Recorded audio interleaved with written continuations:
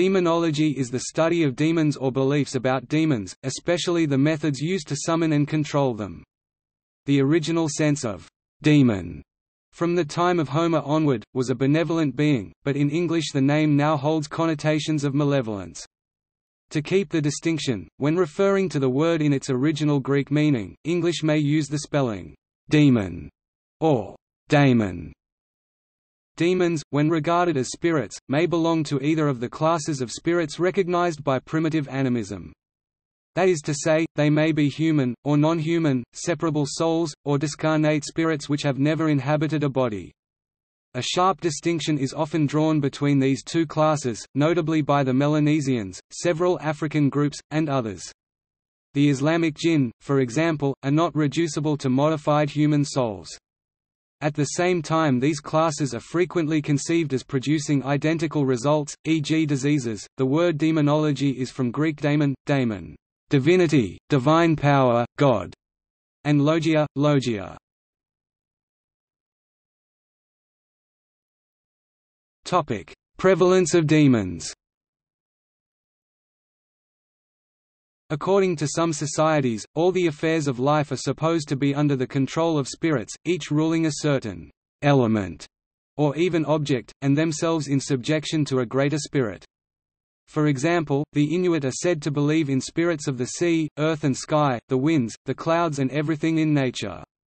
Every cove of the seashore, every point, every island and prominent rock has its guardian spirit.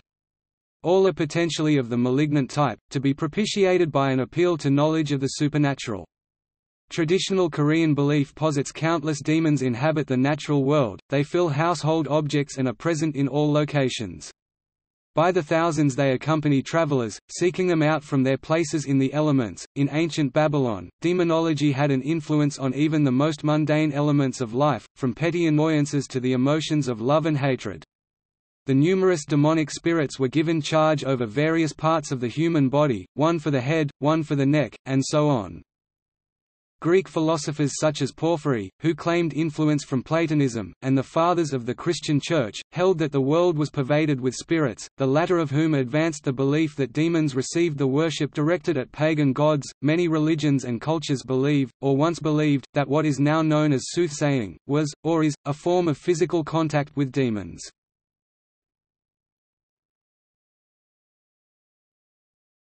Topic: Character of the spiritual world. The ascription of malevolence to the world of spirits is by no means universal. In Central Africa, the Mpongwe believe in local spirits, just as do the Inuit, but they are regarded as inoffensive in the main. Passers-by must make some trifling offering as they near the spirit's place of abode, but it is only occasionally mischievous acts, such as the throwing down of a tree on a passer-by, are, in the view of the natives, perpetuated by the class of spirits known as ombuiri. So too many of the spirits, especially concerned with the operations of nature, are conceived as neutral or even benevolent. The European peasant fears the corn spirit only when he irritates him by trenching on his domain and taking his property by cutting the corn. Similarly, there is no reason why why the more insignificant personages of the pantheon should be conceived as malevolent, and we find that the Petara of the Dyaks are far from indiscriminate and malignant, being viewed as invisible guardians of mankind.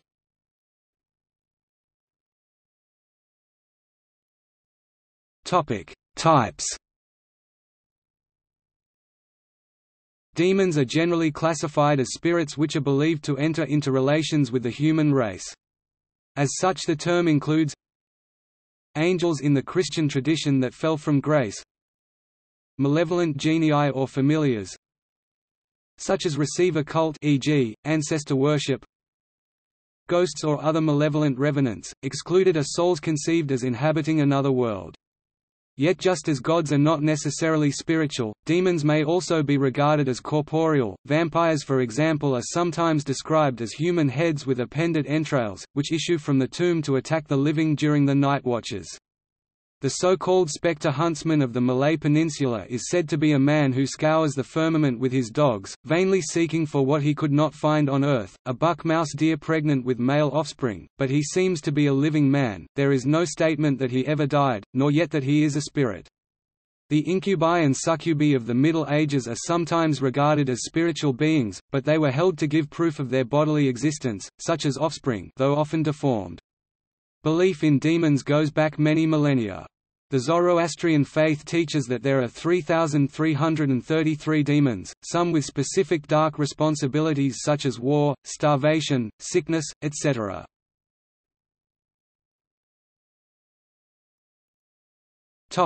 Ancient Near East In Babylonian mythology, the seven evil deities were known as Shedu, or storm demons. They were represented in winged bull form, derived from the colossal bulls used as protective genii of royal palaces. The name, Shed, assumed also the meaning of a propitious genius in Babylonian magic literature. It was from Chaldea that the name, Shedu, came to the Israelites, and so the writers of the Tanakh applied the word Shedim to certain Canaanite deities. They also spoke of the Destroyer Exodus xii. 23 as a Lord who will strike down the Egyptians in 2 Samuel XXIV, 16 and 2 Chronicles XXI. 15 The pestilence-dealing angel, that is spirit, called the destroying angel. Compare the angel of the Lord in 2 Kings XIX. 35, Isaiah XXXVII. 36. Topic: Buddhism. Traditionally, Buddhism affirms the existence of hells peopled by demons who torment sinners and tempt mortals to sin, or who seek to thwart their enlightenment, with a demon named Mara as chief tempter, Prince of Darkness, or Evil One. In Sanskrit sources, the followers of Mara were also called Mara, the devils, and are frequently cited as a cause of disease or representations of mental obstructions. The Mara became fully assimilated into the Chinese worldview, and were called Mo. The idea of the imminent decline and collapse of the Buddhist religion amid a great cacophony of demonic influences was already a significant component of Buddhism when it reached China in the 1st century AD, according to Michel Strickmann. Demonic forces had attained enormous power in the world. For some writers of the time this state of affairs had been ordained to serve the higher purpose of effecting a preliminary cleansing that would purge and purify humanity in preparation for an ultimate, messianic renewal. Medieval Chinese Buddhist demonology was heavily influenced by Indian Buddhism. Indian demonology is also fully and systematically described in written sources, though during Buddhism's centuries of direct influence in China, Chinese demonology was whipped into respectable shape with a number of Indian demons finding permanent niches even in Taoist ritual texts. Also, the Surangama Sutra, a major Mahayana Buddhist text, describes 50 demonic states, the so-called 50 skandha maras, which are negative mirror-like reflections of or deviations from correct samadhi meditative absorption states. In this context demons are considered by Buddhists to be beings possessing some supernatural powers, who, in the past, might have practiced Dharma, the Buddhist teaching, but due to practicing it incorrectly failed to develop true wisdom and true compassion, which are inseparable attributes of an enlightened being such as a Buddha or a Bodhisattva. In his autobiography, The Blazing Splendor, Tulku Urgyen Rinpoche, a prominent Tibetan Buddhist master of the 20th century describes encounters with such beings. Therefore, depending on the context, in Buddhism demons may refer to both disturbed mind states and actual beings.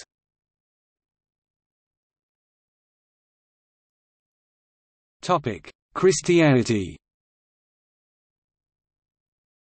Christian demonology is the study of demons from a Christian point of view. It is primarily based on the Bible Old Testament and New Testament, the exegesis of these scriptures, the writings of early Christian philosophers and hermits, tradition, and legends incorporated from other beliefs. Some scholars suggest the origins of early Greek Old Testament demonology can be traced to two distinctive and often competing mythologies of evil, Adamic and Enochic, one of which was tied to the fall of man caused by Adam and Eve in the Garden of Eden and the other to the fall of angels in the antediluvian period. Thus, the Adamic story traces the source of evil to Satan's transgression and the fall of man, a trend reflected in the books of Adam and Eve which explains the reason for Satan's demotion by his refusal to obey God's command to venerate newly created Adam. In contrast, the early Enochic tradition bases its understanding of the origin of demons on the story of the fallen watchers led by Azazel. Scholars believe these two enigmatic figures, Azazel and Satan exercised formative influence on early Jewish demonology. While in the beginning of their conceptual journeys Azazel and Satan are posited as representatives of two distinctive and often rival trends tied to the distinctive etiologies of corruption, in later Jewish and Christian demonological lore both antagonists are able to enter each other's respective stories in new conceptual capacities. In these later traditions Sataniel is often depicted as the leader of the fallen angels while his conceptual rival Azazel is portrayed as a seducer of Adam and Eve. While historical Judaism never recognized any set of doctrines about demons, scholars believe its post-exilic concepts of eschatology, angelology, and demonology were influenced by Zoroastrianism.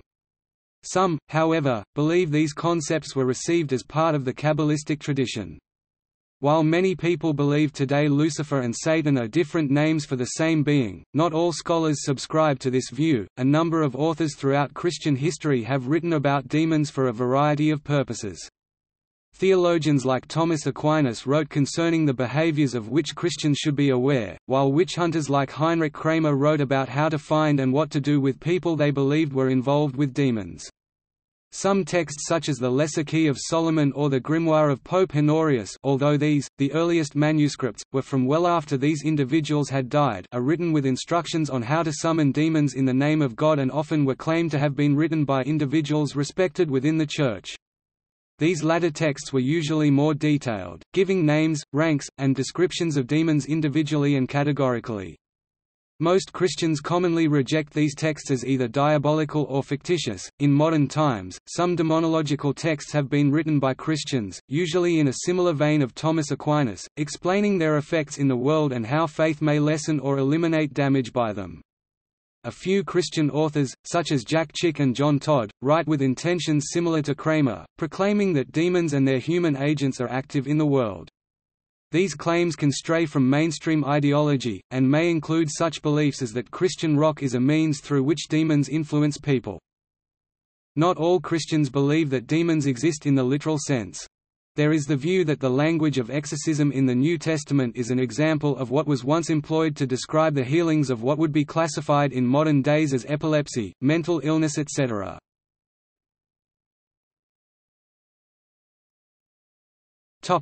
Hinduism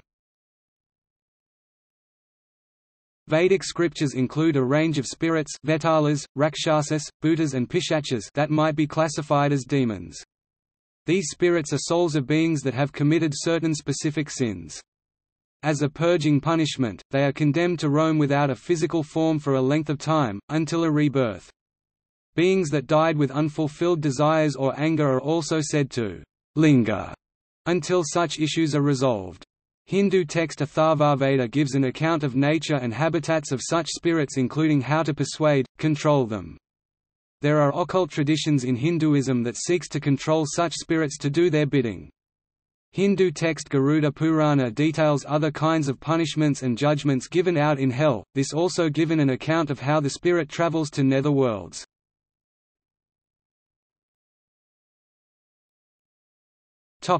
Islam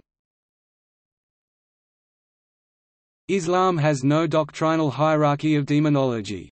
Even though some Muslim scholars tried to classify jinn and demons, there is no established classification and terms on jinn may overlap or used interchangeable. Naming the jinn also depends on cultural influences. Julius Wellhausen states, that Islamic demonology is also zoology. Many demonic or demon-like entities are not purely spiritual, but also physical in nature and related to animals. One prominent classification is made by Jahiz Amir, a jinni, who lives among humans Shaitan, malicious and rebellious jinn Marid, a stronger type of shaitan, trying to steal news from heaven Ifrit, the most powerful type of shayateen. The German Orientalist Almut Wieland Karimi classified the jinn in the ten most common categories mentioned in folklore literature Jinn or Jan, ordinary jinn, a class apart from other jinn types, but also used as a collective to refer to invisible beings in general Shaitan, malevolent jinni, who causes illness and madness Ifrit, delimitation to ordinary jinn remains unclear. Can be either a powerful cunning jinn or strong shaitan. Ifrits are in general bad. Marid, a haughty and powerful shaitan or very malevolent ifrit. Bubu, a jinn frightening children. Scylla, a female demon, seducing men. Amir, spirits dwelling in houses. Ghul, generally evil and living in the desert. Narina, the name for a specific demon struggling children. Hadaf, a mysterious phenomenon, which can just be heard but never seen. The Ghul and the Scylla often challenged Orientalists to hold them apart, because both are shapeshifter and also appear as females to seduce men. A Ghul in Arabic meaning, terms any shapeshifting spirit, including the Scylla. Furthermore, Marid and Ifrit may be hard to distinguish, since they are often used interchangeable, for example in 1001 Nights. However both entities have properties apart from the other. The Ifrit is also related to the ghosts of the dead, seeking for revenge, unlike the Marid. On the other hand, the Marid is related to assistants of truthsayers, striving to heaven to access informations from the angels, while the Ifrit does not. Additionally the Peri and the Deva are kinds of jinn in Persian lore.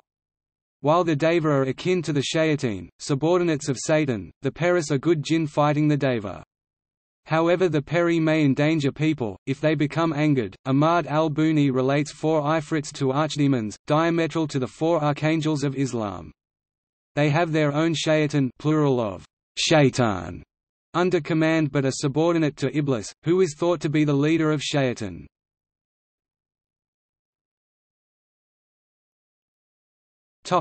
Judaism Judaism does not have a demonology or any set of doctrines about demons. Use of the name, Lucifer, stems from Isaiah chapter 14 verses 3 to 20, a passage which does speak of the defeat of a particular Babylonian king, to whom it gives a title which refers to what in English is called the day star or morning star in Latin, Lucifer, meaning light bearer. From the words lucem ferre, there is more than one instance in Jewish medieval myth and lore where demons are said to have come to be, as seen by the Grigori angels, of Lilith leaving Adam, of demons such as vampires, unrest spirits in Jewish folklore such as the Dybbuk.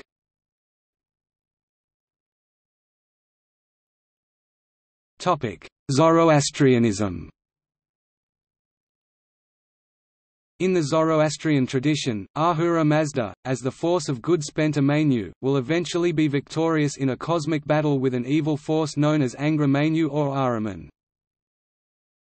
See also